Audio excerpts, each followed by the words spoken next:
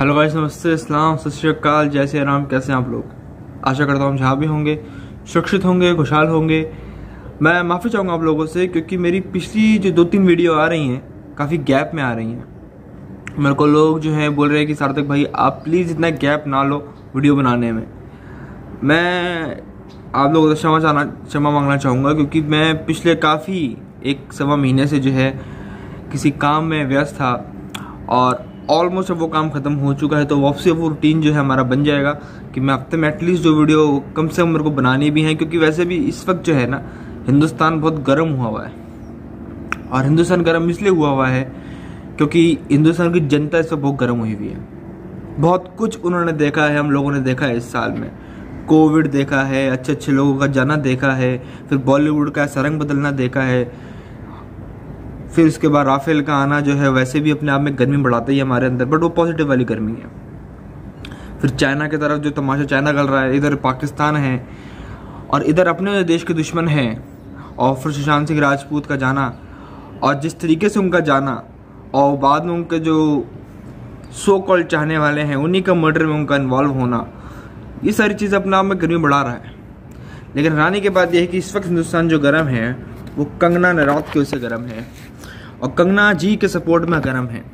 कंगना जी, जो अपने आप में एक बड़ा नाम है और उनको घेरने की साजिश मैं समझता हूँ कायरता है। इतनी इतनी अगर बड़ी पार्टी होती है आज मैं बड़े कड़े शब्दों में महाराष्ट्र गवर्नमेंट की असलियत आपको बताऊँगा। आपको जो इनकी धज्जियाँ कैसे उड़ाते हैं महाराष्ट्र गवर्नमेंट की, या किसी भी सरकार की कैसे उड़ानी हो तो मैं ज़रा आपको तरीका सिखाता हूँ कैसे उड़ाते हैं। सबसे पहले तो कूट कूट के गालियाँ दीजिए जितनी आपको आती हैं, क्योंकि ये कायर हैं। अगर आप इनको गालियाँ देते हैं, और अगर ये मुड़ के आपको देखते हैं तो समझ लीजिए कि इससे खाली सरकार कोई नहीं है। क्योंकि जो सरकार गालियाँ नहीं खा सकती, और उसको जवाब दे सकती है तो समझिए वो सबसे खाली सरकार है, उसके बाद काम करने के लिए कुछ नहीं है। बीएमसी, यहाँ मैं महाराष्ट्र गवर्नमेंट की बात करूँ, दोनों में ही शिवसेना है। अब शिवसेना में इतनी गाण बदम होता शिवसेना के, जिसने टट्टू पाल रखे हैं, माफ़ कीजिएगा, जिसने ये हिंदुओं के रूप में जो है, इसने पाकिस्तानी मुस्लिम, मैं मैं कहूँगा कि और गंदी टेरिस ऑर्गेनाइजेशन जो है, क्योंकि ये वही काम कर रहे हैं जो कल में पढ़ने वाले पाकिस्तान के मौलवी करते हैं, जब हिंदुस्तान में अटैक करना होता है तो। जो वही काम कर रहे हैं। ऐसी कोई सरकार देखिए जो पहले फतवे निकालती है, फिर काम करती है? इसमें और ये मौलवियों में जो ये गंद फैलाते हैं, चाहे हिंदुस्तान के भी हों, चाहे पाकिस्तान के हों, इनमें और शिवसेना में क्या फ़र्क रहा? कौन कहेगा ये हिंदू पार्टी है? कौन कहेगा ये सनातन धर्म के बारे में बातें करते हैं? हैं? ये मराठाओं की लेगेसी है काय की लेगेसी है ये? ये? ये जो भगवा पहन के मस्जिदों में घुस जाए, ये लेगेसी नहीं है, मेरे भाई। ये कारपंथी है, जो सोनिया के पैरों के नीचे झुक जाए तो तलवे चाटे उसके।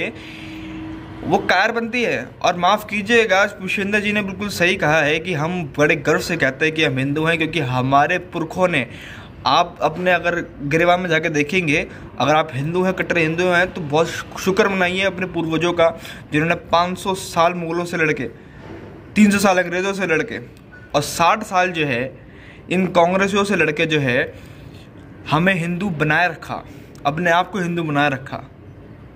समझे? तो अपने आप को भी आप गर्व कहिए कि हम हिंदू हैं और हमारे पूर्वज भी हिंदू थे, जिन्होंने सर कटा लिया, लेकिन मुसलमान नहीं बने, किसी और धर्म में नहीं गए।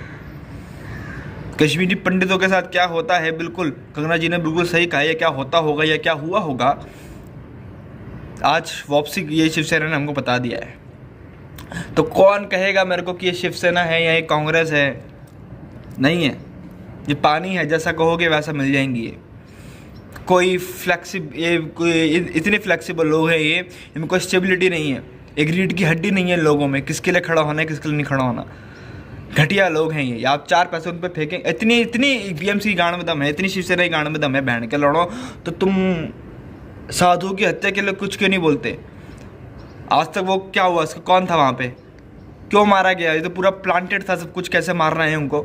हाँ? इतने तुम्हारे में दम होता तो तुम हाँ करते ना यार। बहन के लड़ो, कोविड रोकते ना तुम मादर चौदो। और मेरे को लोग कहते हैं कि यार, शिवसेना को आप गाली मत दो यार, वो हिंदू पार्टी, अरे काय की हिंदू पार्टी, यार लंड चूस लो ना बहन चौथ काय की हिंदू पार्टी वो? लौड़े की हिंदू पार्टी बहन चौथ। माँ चौथ के रखती इन्होंने महाराष्ट्र सर महाराष्ट्र की बहन चौथ। और अभी तो मैं इनकी लूँगा, अभी तो ये, अभी वीडियो देखिए अभी तो इनकी बहन चौथों की लेता हूँ मैं आगे जो ये जो अभी रिया चक्रवर्ती के जो सो कॉल सपोर्टर है चाहे वो फ़िल्म इंडस्ट्री के क्यों तापसी पन्नू हो गई या वो क्या नाम उसका वो हुमा कुरेशी हो गई और भी दो तीन है मैं नाम भी नहीं जानता हूँ लेकिन आज के वो ट्वीट्स वायरल हो रहे रिया के सपोर्ट में होंगे और एक वो हमारे वो प्रत्युष नंदी जो आ, एक जर्नलिस्ट है फॉर्मर हाँ जी? सब रिया के सपोर्ट में आ गए हैं भौंकने जैसे पता नहीं महेश भट्ट ने इनको भी मुँह बंद करने के लिए बैंचो दो हज़ार की गड्डियाँ मुँह पे मारी हों। भौको बैंचो रिया चक्रवर्ती के सपोर्ट में भौको बैंचो तो भौकी जा रहे हैं भौकी जा रहे हैं बैंचो मेरे को गुस्सा इसलिए आ रहा है क्योंकि कंगना नरौज जी और हमारे मनीष मल्होत्रा जी, मनीष मल्होत्रा जी, जानते होंगे आप?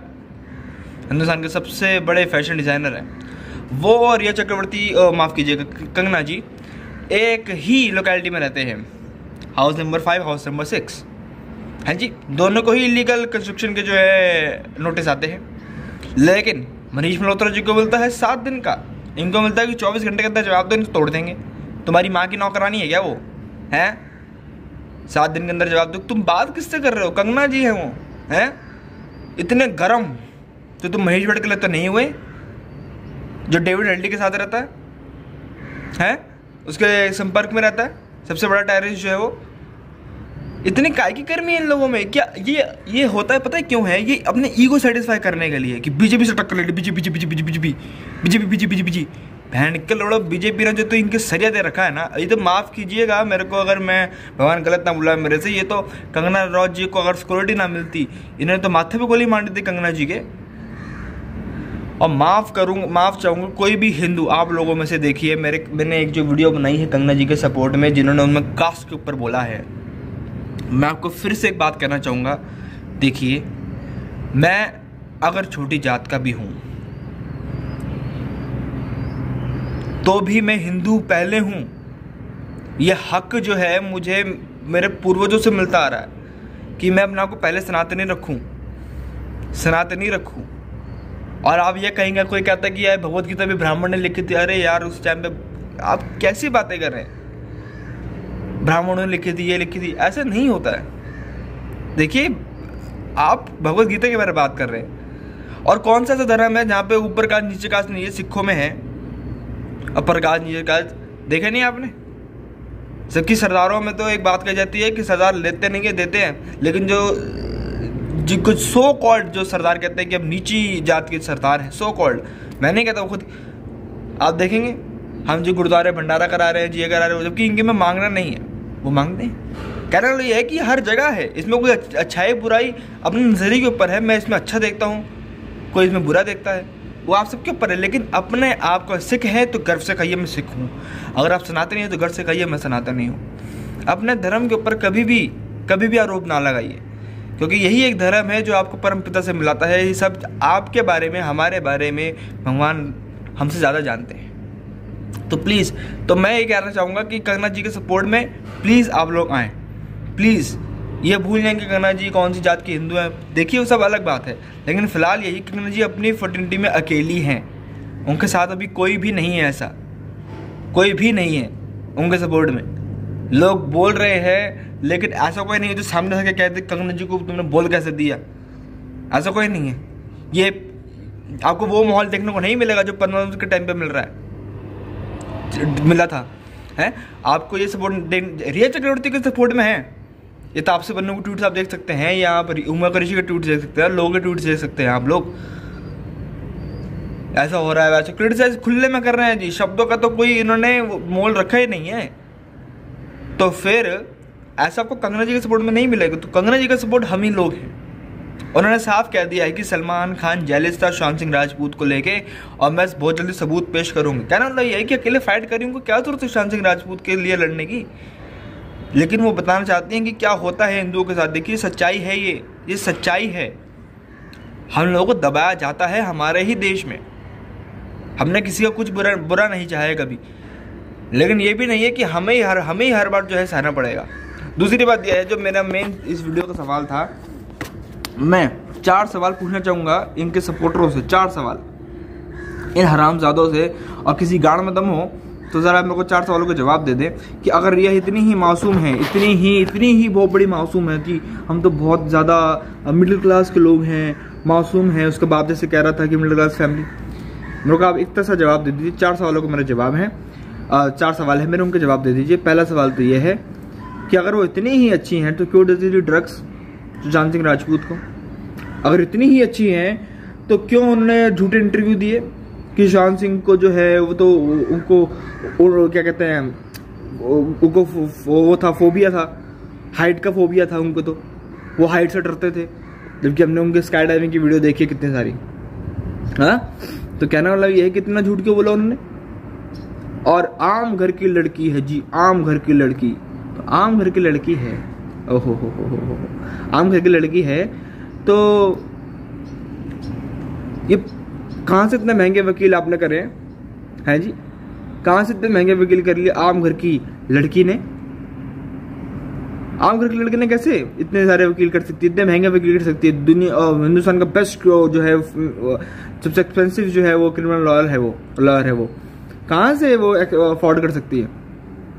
तो ये मेरे कुछ सवाल थे। दूसरा सवाल ये है कि अगर ऐसी बातें तो क्यों डिफेम करने लगे इनके सारे, जो है इनके इन्हीं के यार दोस्त? इसके तो खुद के भाई ने कहा कि ये तो ड्रग्स देती थी। इसके तो खुद के भाई ने कहा है शोभिक चक्रवर्ती ने।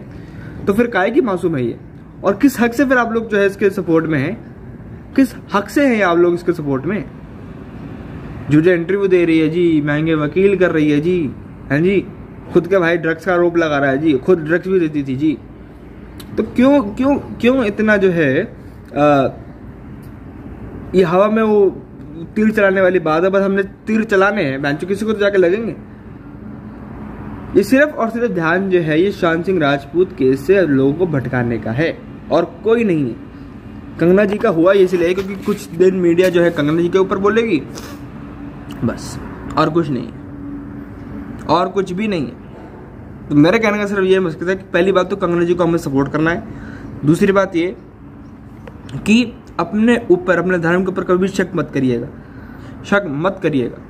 प्लीज़ मत करिएगा। आप भगवत गीता, देखिए, पहली बात तो क्या है? लोग भगवत गीता पढ़ते नहीं है। और जो चीज़ हम पढ़ते नहीं है, उस पर सवाल कैसे खड़े कर सकते हैं? देखिए, किसी ने भगवत ना पढ़नी हो, मत पढ़ो। भगवत गीता का मैं बता देता हूँ फिर से आपको। मैंने पहले ही बोला था अध्याय ग्यारहवा, श्लोक पचपनवा। अगर आप सिर्फ़ ये श्लोक पढ़ लेंगे, भगवत गीता का जो एक जो सम भगवत गीता है, वो इसमें है। पूरा सार है भगवत गीता का इस एक श्लोक में। मैं दोबारा बोल देता हूँ। अध्याय ग्यारह, श्लोक पचपन। ध्यान रखिएगा। उसकी पूरी डीप भगवत जाननी हो, पूरी ज्ञान लाना हो तो पूरी भगवदगीता पढ़िए। आप अपने आप को प्राप्त करेंगे भगवदगीता पढ़ के। ध्यान रखिएगा बात को। मेरे को क्रिटिसाइज करने के काश के ऊपर देखिए, मेरे किसी गलत सेंस में नहीं बोला। हमारे भगवदगीता में, हमारे, ये देश के कानून है। ये लूप होल है कानून के अंदर। अगर किसी निजी जात के लोग के साथ या किसी भी जाति, धर्म के ऊपर किसी के साथ अन्याय होते हैं ना, मेरे भाई, अन्याय तो वो इस कानून की वजह से होते हैं। कानून की वजह से। लेकिन हमारे धर्म में सबको सबको जो है, सबके हमारे क्वालिटीज़ और गुड्स हमारे गुण जो हैं, हमारे उसके ऊपर हमें जो है, हमें डिवाइड किया गया है, लेकिन वो डिवाइड को ऐसा नहीं था कि हमें अलग सनातन कर दिया गया। ना, सबका धर्म एक ही है, भगवान, विष्णु सबके लिए एक ही हैं, और पहले वो उनको प्राप्त होते हैं, फिर हमें प्राप्त होते हैं। ध्यान रखिएगा कि हमें अलग नहीं किया गया है, हम एक हैं, सनातन पहले हैं हम। ध्यान रखिएगा। ज़्यादा दोस्तों, अपना ध्यान रखिए कंगना जी को सपोर्ट करिए। उनको बहुत ज़रूरत है क्योंकि उनके हिसाब से कोई भी, उनके फर्टिनिटी के हिसाब से कोई भी नहीं है उनके उनके सपोर्ट में। दूसरी बात जो है, इन लोगों को बैकवर्ड जितना कर सकते हैं, करिए। क्योंकि इसके अलावा बॉलीवुड को किसी भी भाषा में हम जवाब नहीं दे सकते हैं। तीसरी बात यही है कि अपने अपने परिवारजनों का ध्यान रखिए और अपने अंदर का जो गुस्सा है, वो बचा के रखिएगा। चलता दोस्तों, जय हिंद, जय भारत।